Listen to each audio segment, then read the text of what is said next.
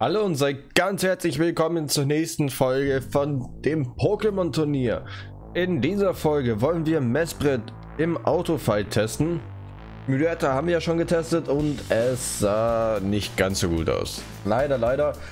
Es hat ein Kampf gewonnen, zwei verloren und insgesamt werte ich das als sieben Pokémon verloren. Ist also eher kontraproduktiv für den Autokampf. Aber jetzt schauen wir doch einfach mal, wie sich unser liebes Messbrett so schlägt. Dafür starten wir doch direkt. Wunderbar. Das hier wird schwer, denn hier haben wir auch ein Psychoteam. Das wird hier eine harte Zerreißprobe für unser Messbrett. Obwohl, hier will ich jetzt mal bam, bam, die drei testen. Einfach mal just for fun. Und hier bleibt das Küren-Team. Alles klar. Kommen wir doch mal. Problem an den Autofights ist immer, dass der, dass die KI zwar, also zwar in gewisser Weise so eingestellt ist, das Richtige zu tun. Also, ich sage jetzt mal, immer die Ultis einzusetzen und auch immer den anzugreifen, wohingegen man gut ist. Also, wenn man Attacke also ich jetzt der Wasserattacke, dann greift man das Feuer-Pokémon an. Doch die KI rafft zum Beispiel nicht, wenn es dieses Feuer-Pokémon Godon ist und setzt seine Fähigkeit ein. Da rafft die KI nicht, dass die Wasserattacken sinnbefreit sind oder gar keinen Schaden machen aufgrund von Chronon. Und das ist eben auch ein Problem. Hier zum Beispiel ist jetzt alles noch in Ordnung. Das war nämlich meine Befürchtung vom Messbrett, denn eigentlich könnten Deoxys und Lele ja in jeder Runde die Ulti einsetzen. Und deswegen hatte ich davor Angst. Aber bis jetzt sieht alles noch gut aus.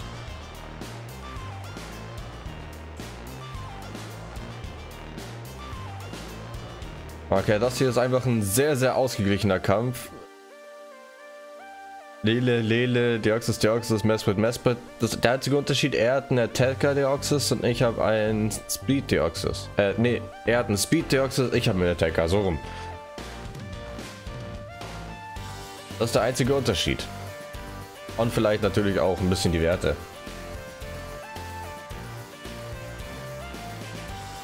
Aber ich finde es cool, dass wir die roten Leben haben. Mir noch nie aufgefallen, dass einer rot und einer grün hat. Aber der erste Kampf ist gewonnen. War ein schönes Team. War auch vor allem cool, weil es war wie dieses Mirror Mage, wo man so ein Spiegelkampf ist. Finde ich cool. Okay, der hat allgemein keinen Bock mehr. Ähm, alles klar. So, starten wir. Wartet, ich wollte will hier nur schnell was umändern. Und zwar hier unten kommt jetzt mal Arthurs mit rein. So, Messbrett, Win, One. Hat auch kein Pokémon verloren, alles gut.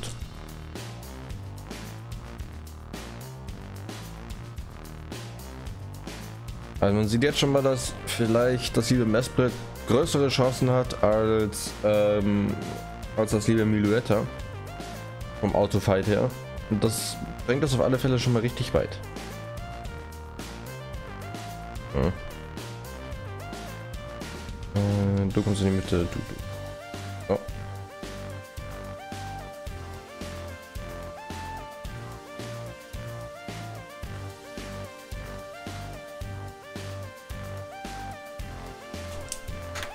Okay, wie das mein Team? Oh, gegen ein Bodenteam. Aber ja, hä? Wir haben hier unter anderem Stalos mit Ground und Regirak mit Rock und sehr interessantes Team. Vom Typ überhaupt nicht zusammenpassend. Natürlich die Verteidigung ist ganz gut bei Guslord, auch mit der Ulti. Da bin ich jetzt gespannt. Da bin ich sehr gespannt.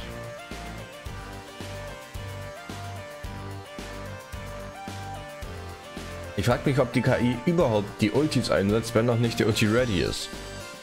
Momentan oder im letzten Cup haben wir gesehen, es setzt nicht die Ulti ein, da es sonst Ding, ding. Da sonst hier Mesprit gehen können wieder. Ah, jetzt hat es zum Beispiel eingesetzt. Finde ich interessant, also setzt es, sei jetzt mal clever ein. Und das finde ich gut. Und sonst könnte es auch einfach in jeder Runde die Ulti zünden. Und irgendwann wäre dann Mesprit down. Aber das macht es nicht. Das finde ich super. Hier auch beispielsweise wieder. Nicht mal die eigene Ulti setzt einmal, dann würde Mesprit auch drauf gehen. Und das finde ich super. Finde ich gut gemacht. Leider hier, wie man gesehen hat, er hätte vielleicht sogar Tapulele ähm, helfen können. Also beim Überleben helfen können.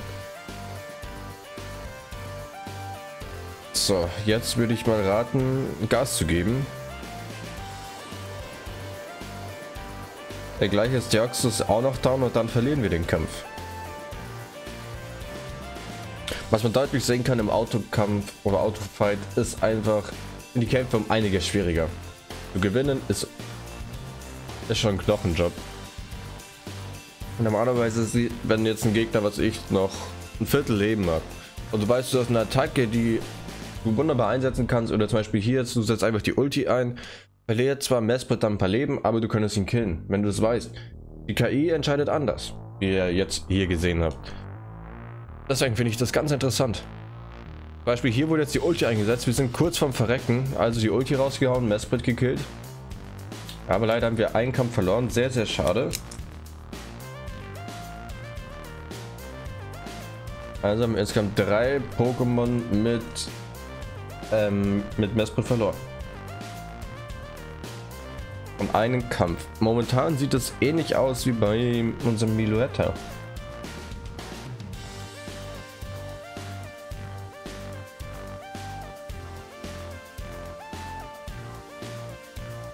Eigentlich hatte ich nicht vorgehabt, dass ich den Kampf hier jetzt auch noch verliere.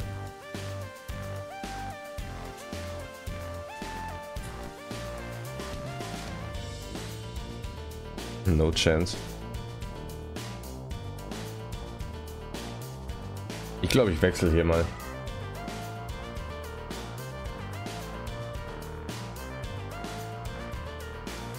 Okay.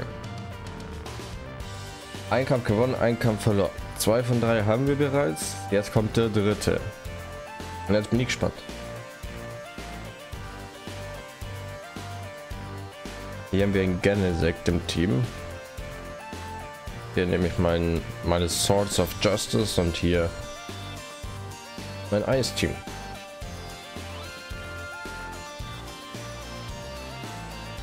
Mal schauen, ob wir uns dagegen beweisen können. Selbst wenn es Mesprit verlieren sollte und alle drei verrecken, hat es nur insgesamt sechs Pokémon verloren. Im Vergleich zu Miletter, das insgesamt sieben verloren hat. Somit würde Mesprit vorne bleiben. Aber ein Sieg wäre natürlich auch ganz schön.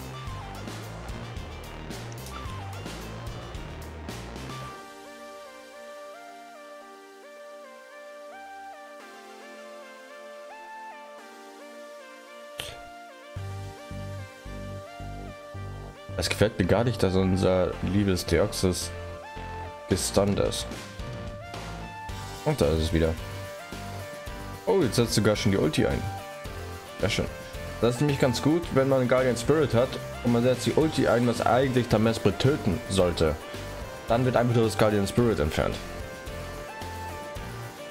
Somit sind hier in, im Zusammenhang mit Mesprit Pokémon einzusetzen, die zum Beispiel Guardian Spirits entweder hervorrufen können oder einen ähnlichen Effekt, als zum Beispiel Ho-Oh, Selfe, ähm, dann das liebe Celebi, auch Keldeo beispielsweise. Und das halt dann einfach nur in jeder Runde oder ja, wenn man halt dann eben das Schild aktivieren kann, dann müsste man einfach mit einem anderen Pokémon die Ulti hinsetzen und alles wird gut. Ach, wisst ihr was? Wir machen das hier auch im Autokampf weiter. Hier ist es egal, aber ja, ich, ich finde es einfach ganz passend. Finde ich cool, ein Rock Arthurs. Sieht man sehr, sehr selten. Ground, ja, wegen Godon. Aber Rock, ne? Wirklich schon eine Besonderheit.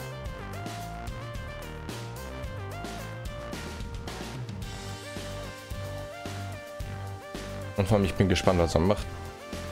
Er hat ein gutes Team. Despotar ist auch, hier seht ihr es, ist relativ stark, gerade gegen unser Terrakium. Aber ich bin gespannt. Jetzt die Ulti und Arthur down. Sehr schön. Als nächstes hoffe ich, dass sie gegen Despotar gehen. Und dafür wird jetzt umgeändert. Und das ist ganz nice, wenn ihr erstmal ein Pokémon auswählt, sodass dieser gelbe Pfeil über dem Pokémon ist. Und danach, ähm, danach geht ihr auf Autofight, dann greifen die alle das Pokémon weiterhin an. Nicht super. Okay, also wir haben jetzt hier Mesprit gewonnen. Ein, zwei. Ja, doch, zwei. Haben gerade gewonnen. Verloren drei Pokémon. Ähm, momentan ist es familiärter, aber hier, wie gesagt, ihr denkt, ähm, dass die KI zwar etwas anders handelt als sonst. Normalerweise, wenn die Ulti ready ist, setzt die KI auch die Ulti ein. Das macht sie hier in dem Fall nicht. Doch es gibt auch Ausnahmefälle. Deswegen solltet ihr trotzdem Messbrett mit Vorsicht genießen. Aber jetzt freue ich mich dann erstmal auf das dritte Pokémon, nämlich auf Cresselia. Und dann schauen wir, wer ins Finale einzieht und vor allem, wer den Titel oder den Platz in dem Psychoteam an der Seite von Deoxys und Tapulele sichert. Doch bis dahin noch einen schönen Tag und ja, noch viel Spaß. Bis dann.